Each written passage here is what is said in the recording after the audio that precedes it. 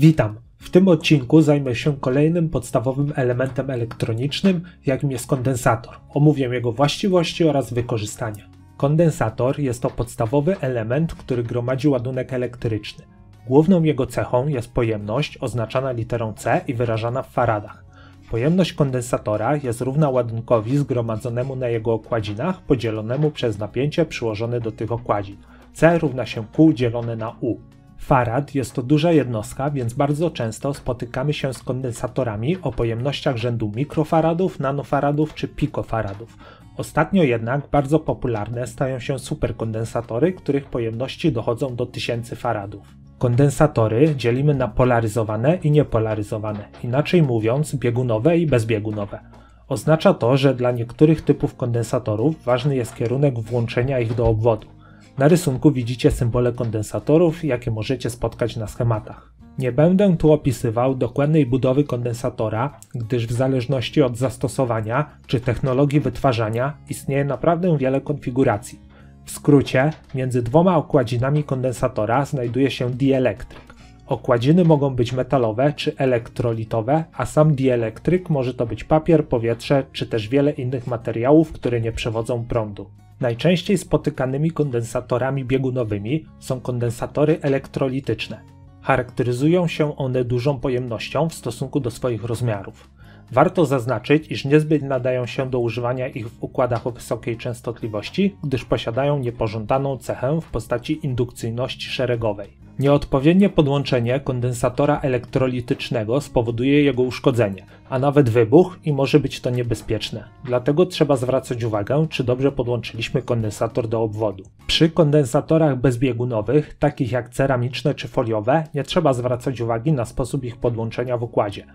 Kondensatory ceramiczne nadają się do układów wielkiej częstotliwości, a kondensatory foliowe stosuje się przy wysokich napięciach z uwagi na dużą wytrzymałość napięciową i małe straty. Jednak jak mówiłem, celem tego odcinka nie jest dokładne opisanie każdego możliwego kondensatora, a omówienie kondensatora jako takiego. Kondensatory w układach prądu stałego są traktowane jako przerwa w obwodzie, czyli nie płynie przez nie prąd jednak mają one częste zastosowanie jako tak zwane kondensatory wygładzające, czyli w razie jakichś spadków napięcia ładunek w nich zgromadzony uzupełnia te spadki.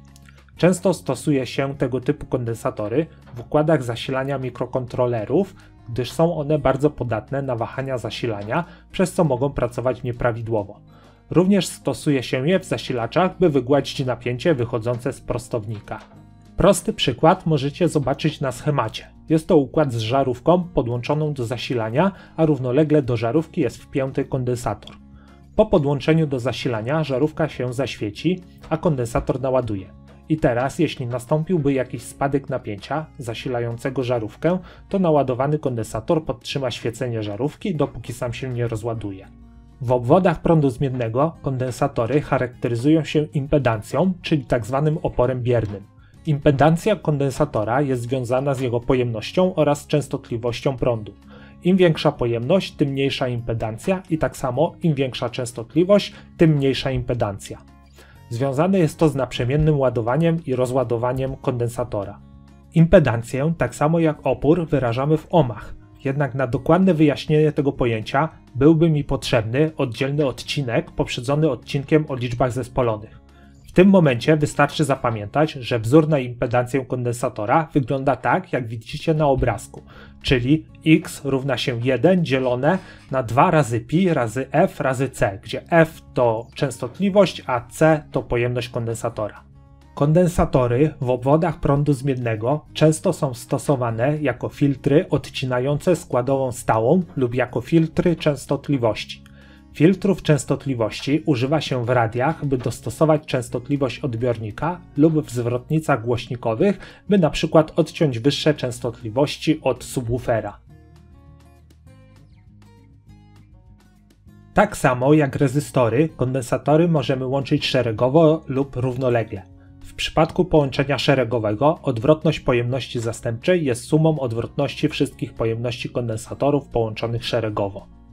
Wyprowadzić ten wzór można przy użyciu drugiego prawa Kirchhoffa. Suma napięć na kondensatorach jest równa napięciu zasilania, czyli U1 plus U2 równa się U. Jak wcześniej wspomniałem, pojemność kondensatora jest to ładunek dzielony przez napięcie. C równa się Q dzielone na U. Więc z tego wzoru możemy wyliczyć, że napięcie jest to ładunek dzielony przez pojemność.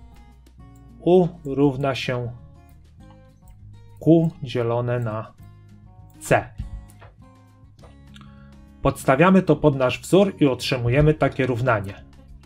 Q przez C1 plus Q przez C2 równa się Q przez CZ. I teraz wystarczy przekształcić ten wzór i otrzymać takie równanie. 1 przez C1 plus 1 przez C2 równa się 1 przez CZ. Tak samo jak w przypadku dwóch rezystorów, wzór ten można uprościć do postaci CZ równa się C1 razy C2 dzielone na C1 plus C2. W przypadku połączenia równoległego pojemność zastępcza jest sumą pojemności wszystkich kondensatorów połączonych równolegle. Ponieważ napięcie na tych kondensatorach jest takie samo, więc ładunek zgromadzony w kondensatorach jest zależny tylko od pojemności. Q równa się C razy U. Możemy więc ułożyć takie równanie. C1 razy U plus C2 razy U równa się CZ razy U.